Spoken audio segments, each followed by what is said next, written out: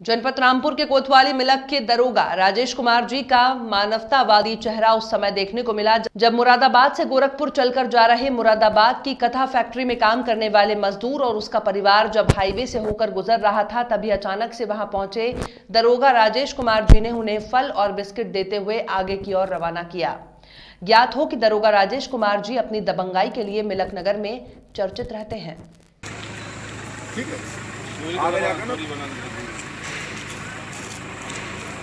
है आगे जाकर चौराहे मिल जाएँगे।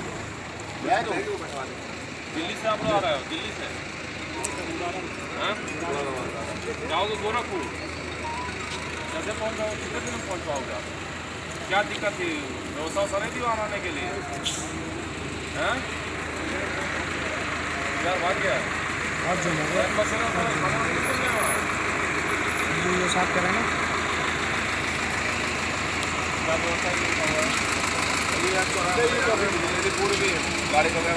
वहाँ पे आगे पुलिस है। वगैरह आएगी ऐसा ट्रक जाना पड़ेगा